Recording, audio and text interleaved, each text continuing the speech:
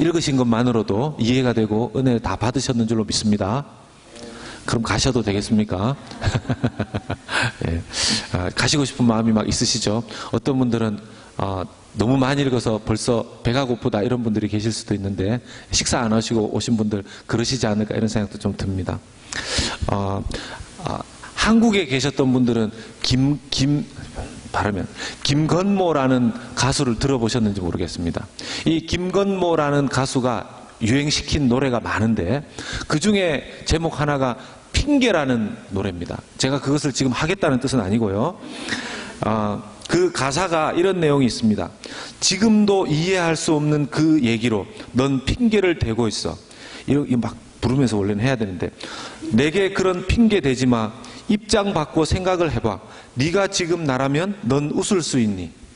이 노래말 속에 입장 바꿔 생각을 해봐. 이런 가사가 자꾸 이렇게 반복이 됩니다. 핑계를 댈 때, 핑계를 댈 때 자기 입장에서만 상대방에게 자꾸 말을 하게 되면 그게 핑계 아닌 핑계가 될 때가 참 많습니다. 자기 입장에서만 자꾸 생각하는 거죠. 그럼 상대방이 요구한 것이 있는데 자기 입장에서만 자꾸 이야기를 하다 보니까 그게 핑계가 될 때가 있는데 그걸 가사로 이 사람이 썼습니다. 핑계라는 말을 제가 국어 사전에서 찾아보니까 한국말 사전에서 찾아보니까 어떤 일을 정당화하기 위해서 공연히 내세우는 구실이다 이렇게 풀이를 해놨어요. 어떤 일을 정당화하기 위해서 정당화하려고 한다는 것은 이게 지금 정당하지 않다는 이야기죠. 정당하지 않은 그 일을 정당하게끔 어, 말을 바꾸어서 설명하려고 어, 하는 말이 바로 이 핑계라는 것입니다. 제가 이제 지금은 우리 교회 전체 성도님들을 대상으로 사역을 하는데 이전에 제가 대학생들을 상대로 어, 사역을 했었던 때가 있었습니다. 그때 이제 많은 대학생들을 같이 이렇게 사역을 했는데 이 그 대학생들 중에서 성교단체에 나오고 막 기도하고 이런 학생들이 놀아도 시원찮은데 어, 그 지금은 공부 많이 하는지 모르겠지만 제가 있었던 때 학생들은 진짜 놀기 위해서 대학을 갔었던 사람들이었습니다. 죄송합니다. 이 중에는 굉장히 공부 열심히 했었던 분도 계신데 어, 그분들은 저하고 과가 다르니까 그냥 그렇게 이해하시면 되겠습니다. 그런 놀아도 시원찮은 그 시간에 그 대학생들이 기도하기 위해서 모이고 수양에 가고 말씀 연구하고 그렇게 하는데 제가 보면서 야 정말 놀랬던 게 저렇게 놀아도 바쁜 시간에 저렇게 기도하고 심지어 수양에 가기 위해서 아르바이트해서 그 아르바이트 비용 집어넣어서 수양에 저 멀리까지 가서 일주일씩 수양회 하고 성교 가고 막 그런 걸 보면서 제가 놀랬던 게 뭐냐면요. 어떻게 저렇게 헌신할 수 있는가? 거기에 놀란 게 아니라 저렇게 기도하고 연구하고 수양회 하는데 어떻게 저렇게 안 변할 수 있는가? 네. 어떻게 저렇게 안 변할 수 있는가? 제가 그걸 보면서 정말 놀랐습니다. 어, 저 사람들이 뭔가? 예, 뭐 기도할 때 눈물뿐만 아니라 기도하고 찬양하면서 막 눈물 콧물 흘리고 찬양할 때는요, 막 얼마나 열심히 찬양하는지 막 손을 들고 막 이렇게 찬양할 때는 날개 달고 하늘로 천국으로 막 날아갈 것 같아요. 그 정도로 막 찬양을 하고 말씀 연구를 할 때는 무슨 학자가 된 것처럼 그렇게 말씀 연구를 해요. 그렇게 열심히 열정적으로 하는데 왜 안 변하라는 거죠? 안 변합니다. 사람이 안 변하더라고요. 그 입에서 나오는 말이 좀 지식은 늘었다 할지라도 하는 말 비슷하고요. 그 행동하는 것, 결정하는 것, 그게 별 차이가 안 나는 겁니다. 그왜 저렇게 변하지 않는가? 오늘 이 오늘 하나님의 말씀에 보면 하나님께서 사울 왕을 세우신 것을 지금 후회하고 계십니다. 사울 왕을 세우신 것을 후회하고 계십니다. 여러분 이 11절 어, 말씀에 오늘 말씀 11절 말씀에 보면 내가 아, 사울을 왕으로 세운 것을 후회하노니. 내가 사울을 왕으로 세운 것을 후회하노니. 후회하시는 이유가 분명했습니다.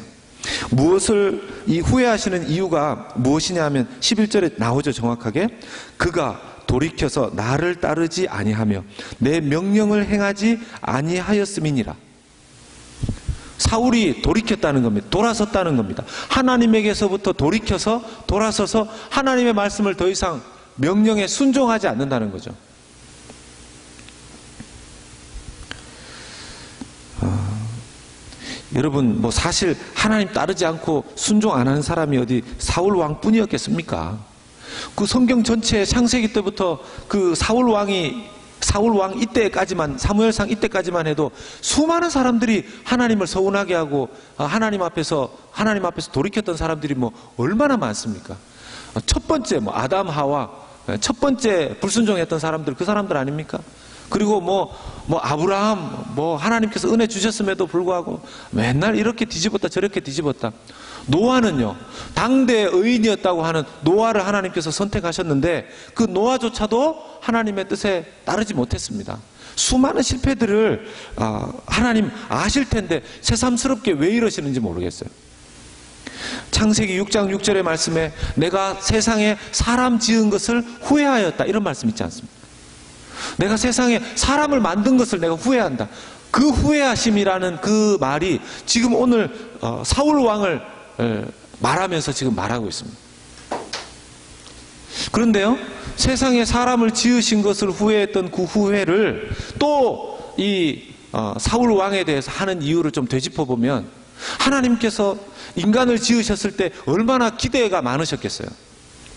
하나님께서 사람을 지으셨을 때 얼마나 기대를 많이 했겠습니까? 아, 이제, 어, 혼자, 내가 하나님이었는데, 이제 내가, 어, 나와 함께, 아, 지낼 수 있는, 그냥 동물이 아닌 인간을 따로 만드신 거 아닙니까? 함께 즐거워하기 위해서. 하나님께서 이 인간을 만드시고 이 인간이 하나님을 찬양하고 경배하고 하나님과 인격적으로 교제를 나누면서 하나님께서 얼마나 즐거워할 것을 기대하시고 인간을 만들었는데 이 인간이 하는 짓마다 다 범죄하고 하니까 하나님께서 다른 동물들은 동물들이야 뭐 불순종하고 말고 자시고 할 게 있습니까? 그 동물의 그 지능의 수준이 사람하고 뭐 비교가 됩니까? 침팬치 뭐 똑똑하다고요? 그 똑똑한 침팬지가 아무리 지능이 높으면 예, 10살 어린아이만큼도 그 지능이 따라가지 못하는 수준이 침팬지 아닙니까? 그런데 인간을 하나님께서 가장 고등한 그런 존재로 만들어 놓으시고 기대하셨는데 그 고등하게 만들어 놓은 인간이 하나님 앞에 범죄하면서 동물도 범죄하지 않는 그 죄를 하나님 앞에 저지르면서 동물도 거역하지 않는 그 거역을 인간이 하나님 앞에 하면서 그래서 하나님께서 인간의 지으심을 후회하셨다는 거 아니겠습니까?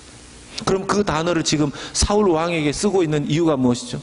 하나님께서 사울 왕을 왕으로 세울 때 하나님의 그 기대가 마치 인간을 만드셨을 때 그 기대에 버금가는 어떤 기대가 왕에게 있었다는 거죠.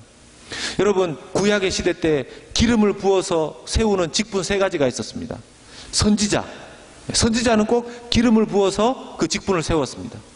또 뭡니까 제사장, 제사장은 꼭 기름을 부어서 그 직분으로 세웠습니다. 이번에 등장하는 이 왕도 하나님께서 기름을 부어서 특별히 하나님께서 기름 부어서 세우신 존재가 왕이었거든요. 그 첫 왕이 바로 사울 왕이었는데 이 사울 왕을 하나님께서 세우신 것을 지금 후회하신다는 겁니다. 왜 후회하시는가? 사울 왕이 지금 들었던 어, 사울 왕이 처음에는 하나님의 음성을 듣고 왕이 되었죠. 이 사무엘상 10장에 가보면 사울이 처음으로 사울 왕으로 등극을 할 때 하나님이 기름을 부어서 첫 왕으로 세우시면서 그때 사무엘 선지자를 통해서 하나님의 메시지를 계속해서 들려주십니다. 그 수많은 하나님의 말씀을 듣고 왕이 되었고 그가 왕으로서 해나가는 그 초창기에 하나님의 말씀 위주로 들으면서 그가 아, 왕으로서의 직분을 감당했었는데 시간이 점점 지나서 오늘 이 15장 말씀해 보니까 사울 왕이 듣는 것이 달라졌습니다. 14절의 말씀을 보겠습니다. 14절의 말씀에 보니까 사무엘이 이르되 그러면 내 귀에 들려오는 이 양의 소리 내게 들리는 소의 소리는 어찌 됨이니까 사울 왕이 듣기 시작한 것이 더 이상 하나님의 소리보다는 양의 소리, 소의 소리, 그리고 나중에는 급기야 어떻게 됩니까? 24절에 가보면 24절에 가보면 본인이 이야기합니다. 사울이 사무엘에게 이르되 내가 범죄하였나이다. 내가 여호와의 명령과 당신의 말씀을 어긴 것은 내가 백성을 두려워하여 그들의 말을 청종하였음이니이다. 하나님의 말씀을 청종해야 되는 하나님의 말씀을 듣고 복종해야 되는 사울이 이제는 양의 소리, 소의 소리, 백성의 소리를 듣고 그것에 복종하는 그런 아, 사람으로 바뀌어졌다는 것입니다. 하나님의 마음을 슬프게 했던 그 중요한 요소 중에 하나가 바로 하나님의 말씀, 하나님의 말소리를 듣지 않기 시작했을 때부터 하나님의 말씀의 소리보다 다른 것들을 더 많이 듣기 시작했을 때부터 이제 사울 왕은 점점 자기의 자리에서 이탈하기 시작했다라는 것이죠. 사랑하는 성도님들, 평상시에 어떤 소리를 귀에 제일 많이 들으십니까? 어, 사람들과의 대화. 우리 사람들과 대화를 많이 하시는 분들은 다른 사람들의 말소리 많이 들으시죠? 또 차로 많이 다니시는 분들 자동차 소리 많이 들으시죠? TV, TV 보시는 분들 TV에서 나오는 뉴스 그리고 드라마, 뭐 영화 이런 거 소리 많이 들으실 수 있겠죠. 또 어떤 분들은 찬송 소리 아예 찬송가 틀어놓고 CCM 틀어놓고 찬송 소리 많이 들으시는 분도 계시죠. 기뻐하는 소리, 긍정적인 소리, 아니면 부정적인 소리, 불평하는 소리. 내 귀에 내가 어떤 소리를 듣느냐가 하나님 앞에서 내 신앙이 하나님이 인정하시는 신앙생활이 되느냐 아니면 하나님께로부터 점점 벗어나는 신앙생활이 되느냐 그걸 좌우한다는 겁니다. 민수기 14장 28절의 말씀에 여러분들 잘 아시는 그 말씀이 있습니다. 그들에게 이르기를 여호와의 말씀에 내 삶을 두고 맹세하노라. 너희 말이 내 귀에 들린 대로 내가 너희에게 행하리니. 하나님께서 그렇게 말씀하셨습니다. 우리의 귀에 들리는 것뿐만 아니라 우리가 말하는 것, 우리가 듣는 그것을 하나님도 들으시고 하나님 귀에 들린 대로 우리에게 행하실 것이라는 겁니다. 그래서 우리는 내가 말하는 것도 조심해야 되고 내가 듣는 것도 조심해야 됩니다. 내가 듣는 것도 조심해야 됩니다. 어떤 통계 조사를 내보니까 어렸을 때부터 시작해서 나이 들어서까지 처음에 애가 태어났을 때는 귀엽고 예쁘다 사랑스럽다 이런 얘기를 많이 했는데 시간이 지나면서 그 아이가 듣는 이야기가 어렸을 때는 긍정적인 얘기가 100%였었다면 그 100%의 긍정적인 얘기에서 부정적인 얘기 쪽으로 점점 점점 점점 많아지더라는 겁니다. 너 왜 이것도 못해? 왜 안 해왔어? 너 왜 이 모양이야? 너는 왜 이래? 너는 왜 저래? 너 이거 더 해야지. 너 이거 더 해야지 인정받을 수 있어. 너는 이러면 안 돼. 안 돼. 안 돼. 자기 귀에 부정적인 얘기가 점점 점점 많이 들린다는 거죠. 그 귀에 들린 대로 그 아이도 그렇게 된다는 겁니다. 그래서 우리가 그 아이의 귀에, 우리의 자녀들의 귀에, 사람들의 귀에 어떤 이야기를 들려주는가, 내가 내 귀에서 어떤 소리를 듣는가, 이게 너무너무 중요하다라는 것입니다. 심지어 우리의 믿음에는 얼마나 큰 영향을 끼칩니까? 로마서 10장 17절의 말씀에 그러므로 믿음은 들음에서 나며 들음은 그리스도의 말씀으로 말미암았느니라. 어떤 분들은 목사님 아무리 해도 믿음이 잘 안 생깁니다. 아무리 해도 믿음이 잘 안 생깁니다. 왜 그럴까요? 이 말씀에 근거해서 보면 그리스도의 말씀이 자기의 귀에 안 들려졌다는 거죠. 그리스도의 말씀이 자기 귀에 안 들려졌다는 거죠. 지금 저와 여러분들의 귀에 어떤 소리를 많이 들으시며 살아가십니까? 사울 왕이 우리가 봤을 때 아, 정말 이 사람 어, 보면서 안타까운 것 중에 하나는요. 사울 왕이 완전히 엉망인 사람이 아닙니다. 완전히 엉망인 사람이 아닙니다. 예배를 드렸던 사람입니다. 예배를 드렸던 사람입니다. 어, 사울 왕이 이 어, 사부엘이 하나님의 말씀을 전해주고 어, 자기 하나님께서 당신을 버렸다 이렇게 이야기를 하고 떠나려고 했을 때 사울 왕이 요청하죠. 당신과 함께 예배드리게 해주십시오. 경배하게 해주십시오. 그래서 처음에 사, 사무엘 선지자는 거절했지만 나중에는 어, 사, 울 왕의 청을 어, 받아들여서 예배하는 경배하는 자리에 같이 갑니다. 저는 이 말씀을 묵상하면서 왜 사무엘 선지자가 한 이 사울 왕과 함께 경배하러 가는 것을 처음 거절했다가 왜 경배하러 가는 것을 받아들였을까? 사무엘 선지자는 사무엘 선지자가 아주 냉정하고 냉혹하게 하나님께서 당신을 버렸다 이 얘기를 와서 그냥 막 그 얘기를 던진 게 아니었습니다. 아시겠지만 오늘 본문도 읽어보면 사무엘 선지자가 하나님의 그 사울을 버렸다 후회한다 이 말씀을 듣고 그 다음날 아침이 될 때까지 밤을 세워서 기도했습니다. 밤을 세워서 기도했습니다. 아마 그 밤을 새워 기도한 내용에 우리가 미루어 짐작해 보면 하나님 버리지 마십시오. 하나님 버리지 마십시오. 첫 왕인데 하나님 버리시면 어떡합니까? 불쌍히 여겨 주십시오. 용서해 주십시오. 그런 기도를 얼마나 많이 했겠습니까? 밤을 새워서 기도했을 겁니다. 그런데 하나님의 뜻이 바뀌지 않는 걸 보면서 순종해서 사울 왕에게 가서 메시지를 다 전한 겁니다. 여러분, 지금 이 말씀에도 보면 사울과 사무엘 선지자 사이에 말, 말로 계속 실갱이를 하지 않습니까? 실갱이를 합니다. 사울 왕은요, 사울 왕은 사무엘 선지자가 나타나자마자 이게 이게 평평하고 이러니까 참 좋은 것 같습니다. 왔다 갔다 하기가. 사울 사울 왕은 사무엘 선지자가 자기에게 나타나자마자 자기가 내가 하나님의 말씀을 말씀에 순종하고 그 명령을 따랐습니다. 이 말을 먼저 합니다. 도둑이 막 발이 저린 거죠. 오늘 제가 있다 보니까 막 발이 저리던데.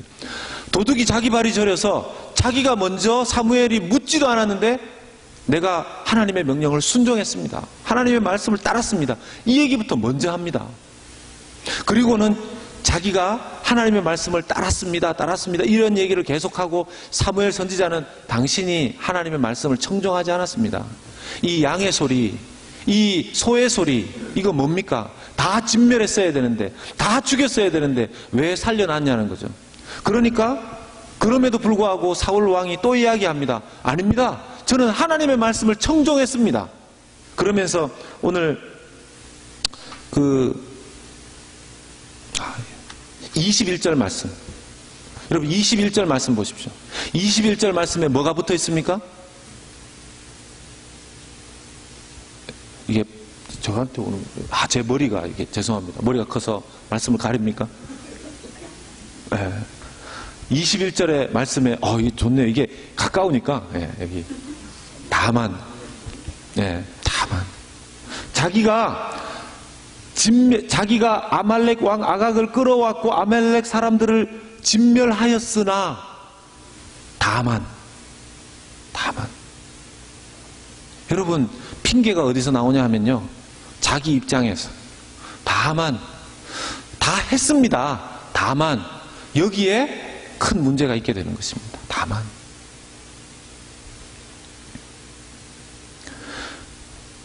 이 사울과 제가 오늘 이 말씀이 길기 때문에 다 설명하면 어, 싫어하실 것 같고요. 이 사무엘과 사울 왕 사이의 대화를 한번 보십시오. 사울 왕이 계속 핑계를 대는데 거기에 사무엘 선지자도 딱, 딱 정확하게 집어서 당신이 무엇을 잘못했는지, 당신이 죄를 저지른 것은 어, 우상숭배와도 같고, 순종이 순종하는 것이 제사 지내는 것보다 낫고 이런 말로 또박또박 대답을 합니다. 여러분 사무엘 선지자가 저는 이 말씀을 묵상하면서 아 사무엘 선지자가 참 똑똑하다 이런 생각이 들었는데요. 기도하면서 이렇게 묵상을 해보니까 아 이런 마음이 제가 깨달아졌어요. 사무엘 선지자가 어떻게 사울 왕의 그 말의 잘못된 태도와 이야기들을 또박또박 이렇게 말하는가? 전날 밤 뭐 했습니까? 전날 밤 사울 왕을 위해서 얼마나 많이 기도했겠습니까? 사부, 사울의 입장이 되어서 사울의 입장이 되어서 하나님 입장 바꿔서 생각해 보십시오. 사울이 사울이 왕이 첫 왕입니다. 뭘 알겠습니까? 하나님 앞에 제사 드리려고 하나님 앞에 제사 드리려고 그 재물 좀 남겨 놓은 것 같습니다.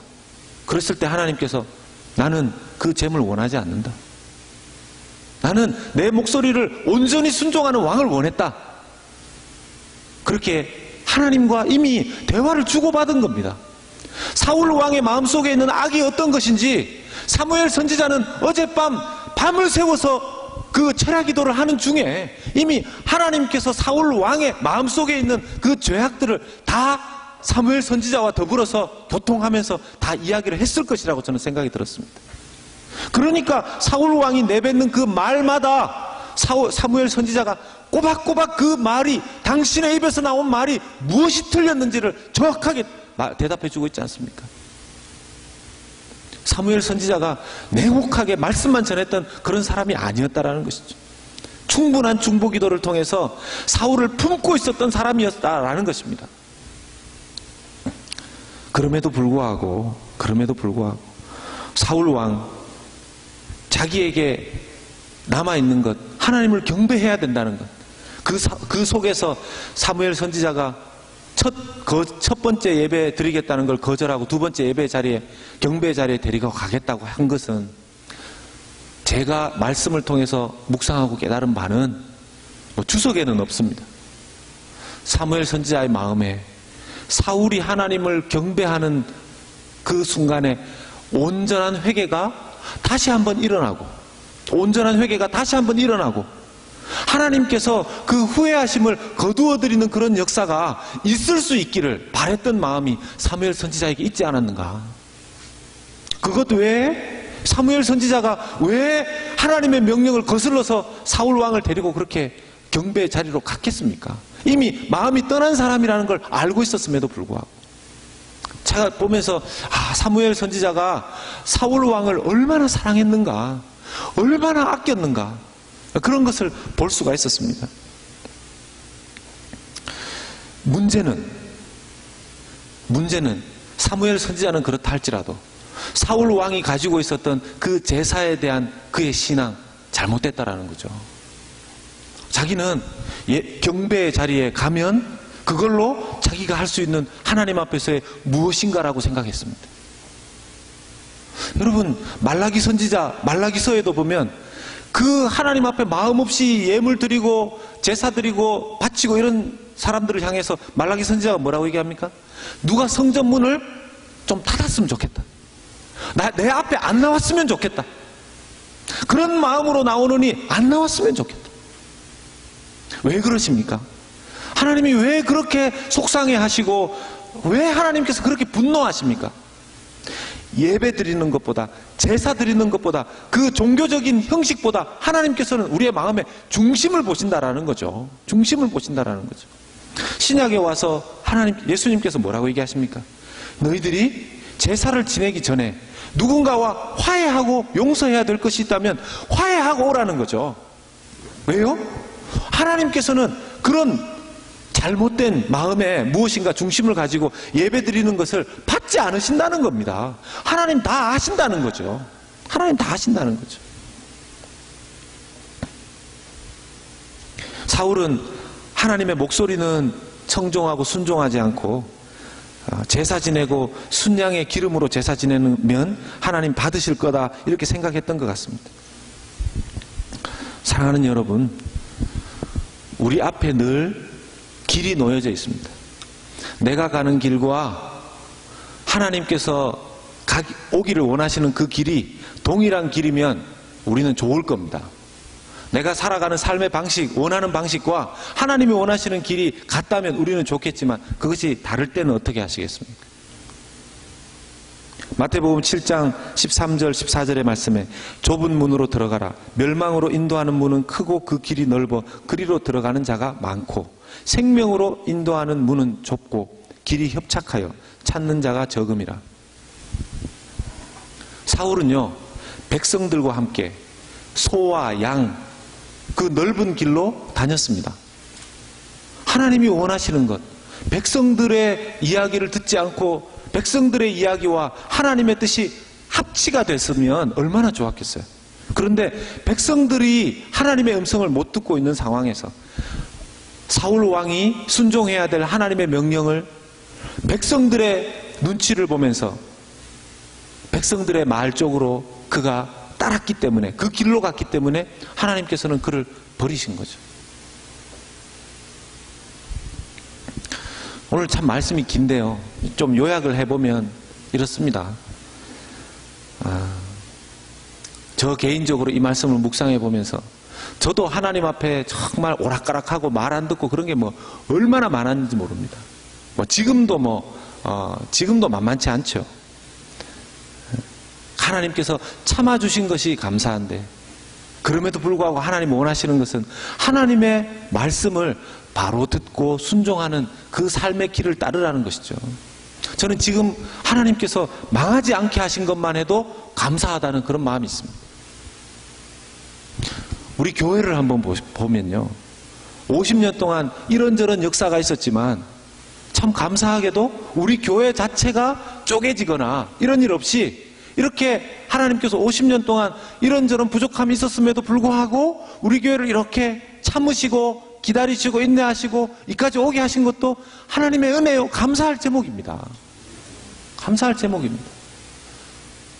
뭐 이런저런 불평이 있을 수 있지만 아니 우리가 잘못한 걸 생각하면요 벌써 골백 번도 수백 번도 하나님이 우리를 징계하시고 우리를 다 흩어버리셨어도 우리가 할 말이 없을지도 모릅니다 우리 개인 저의 개인 인생을 돌아보면 그런데 하나님께서 50년 동안 5년 만에도 교회가 어떻게 되는 교회가 있는데요 50년 동안 하나님께서 우리를 지켜주시고 지금 달라스 연합교회라는 그 이름으로 이렇게 모여서 예배드릴 수 있다는 것만 해도 얼마나 감사한 일인지 모릅니다 문제는 그렇다고 해서 우리가 그냥 지나갈 게 아니라 어떻게 하면 철저하게 더 순종해야 되느냐 하는 부분이 있을 겁니다. 교회가 해야 되는 일 중에 하나님, 우리 교회를 향한 하나님의 뜻이 무엇입니까? 우리 교회를 향한 하나님의 뜻이 무엇입니까? 그 뜻을 알고 그 뜻을 듣고 순종할 때 하나님께서 기쁘게 사용하시는 교회가 되는 줄로 믿습니다. 이게 얼마나 중요한지 모릅니다. 하나님의 말씀이 들려지면 거기에 반응하는 교회.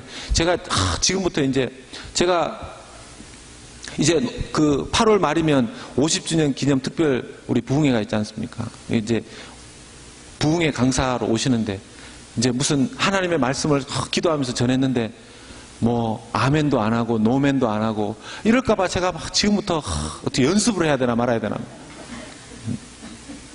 하나님의 말씀이 들려질 때 아멘으로 받고 순종하는 것도 굉장히 중요합니다. 굉장히 중요합니다. 제발 그때는 저한테는 안 하시더라도 그때라도 좀. 네. 우리가 기도할 때도요.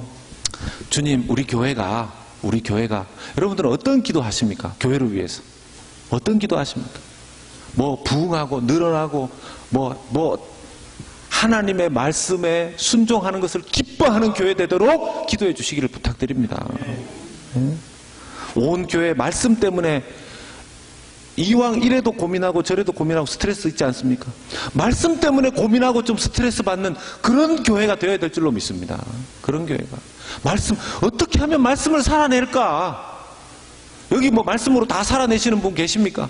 혹시 아우 나는 어떻게 살아도 말씀을 들으면 무조건 그대로 살아내네. 희한하단 말이에요. 그분이 오셔서 설교하시고 전 지금 들어가서 그분한테 안수기도 받고 들어야 돼요. 그러면 안 되니까 말씀 붙잡고 고민하는 거죠. 이 말씀의 마지막에 보면 이 사무엘 선지자가 아각, 아각 왕을 쪼개버립니다. 이 살려놓았는데 사실은 이 말씀 앞에서 쪼개져야 되는 건 누굽니까? 우리입니다, 우리.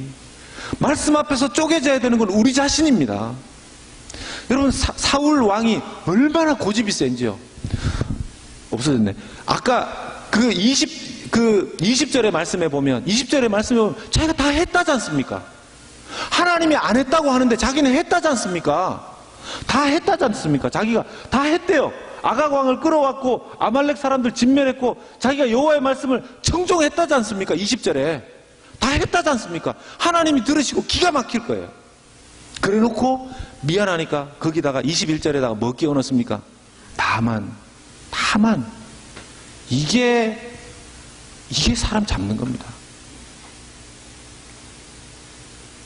우리는요, 이, 이 다만을 너무 잘 써요. 너무 잘 써요.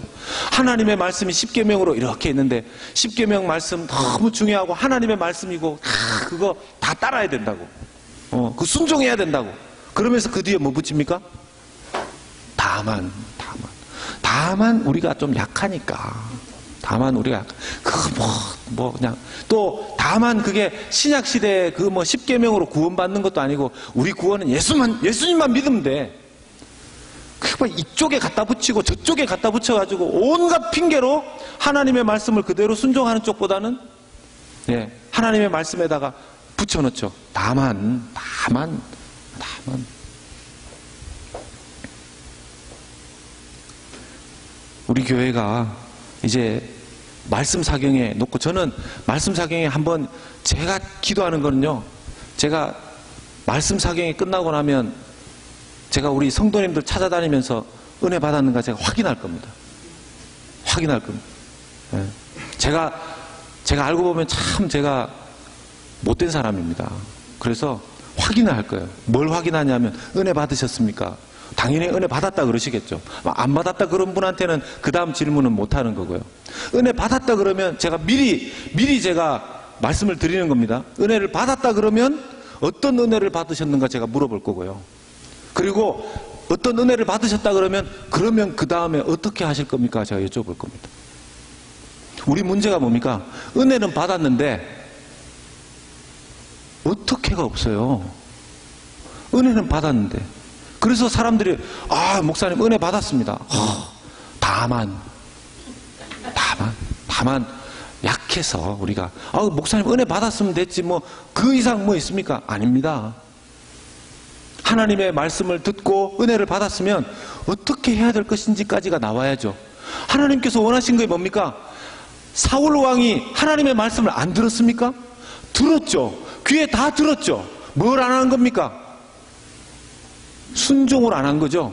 어떻게 해요?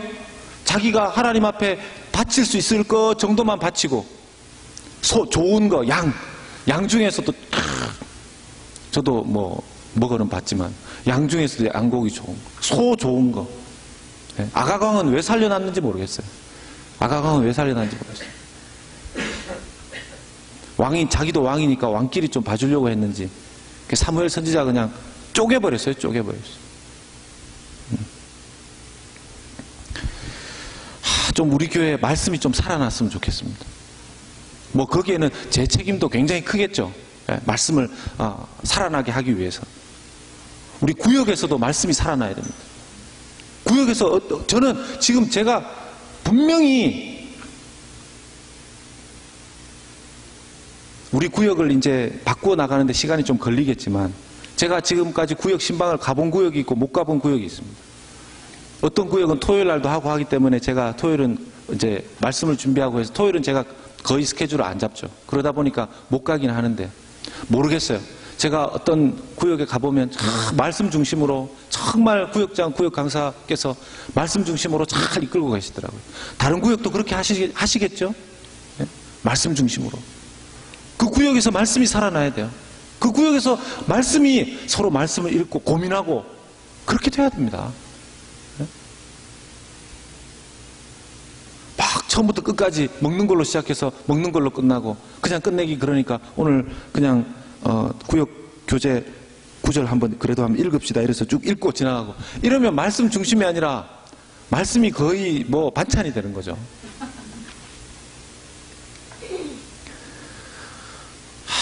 자, 마지막 요 이야기하고 마치겠습니다. 딴 게 아니라 우리 교회 안에 말씀을 묵상하고 말씀을 듣는 훈련이 다시 이루어져야 됩니다. 다시 이루어져야 됩니다. 지금 저희 교회 큐티 책 몇 권, 우리 큐티 책 몇 권 주문합니까? 위안 목사님? 65권요. 65권이 다 나갈 때도 있고 남을 때도 있고 그렇습니다. 제가 볼 때는 어떤 때는 65권이 65분, 65명이 다 가지고 가시면 좋은데 어떤 때는 잊어버리셔가지고 한 분이 두 권 사고 이런 일도 있지 않나 이런 생각도 드는데 65권 해서 될 일이 아닙니다. 예? 우리 교회 교인이 얼만데요? 65권이 나갑니까? 다른 분들은요, 물론 다른 걸로 큐티 하시고 하실 수 있죠. 성경 통독은요, 성경 읽고 계십니까? 읽고 계셔야 돼요. 읽으셔야 돼요. 하루에 네장 이상씩 꾸준히 읽으셔야 돼요. 아이고 읽는데 눈이 침침하십니다. 들으시면 되죠. 요즘 뭐 기계가 얼마나 발달되어 있는데요. 들으시면 되죠. 듣는 것도 좋습니다. 음? 좋은 책도 좀 읽으시고요. 제가 하, 고 싶은 건 많은데 언제 이걸 다 할지 좀 주보 같은데도 이달의 책 그렇게 해서 좀 실어가지고 성도들이 교회에서 좀 책도 좀 팔고요. 네?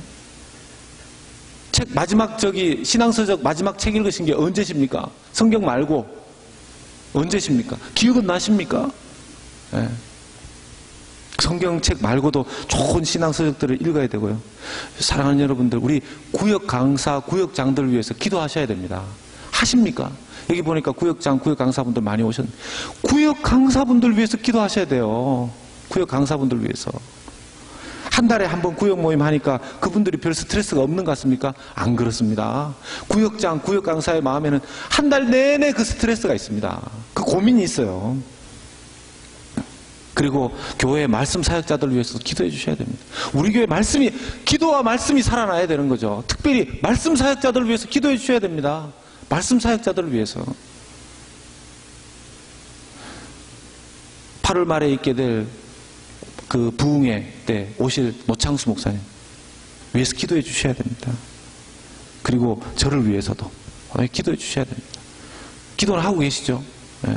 갑자기 이렇게 보시다가 저를 위해서 기도해 주셔야. 그러니까 이렇게 좀 고개를 돌리시는 분들이 계세요. 싫으십니까? 기도해 주셔야 됩니다. 예. 강단에서 바른 말씀 전하려면 기도해 주셔야 됩니다. 우리 같이 찬송하고 기도하도록 하겠습니다.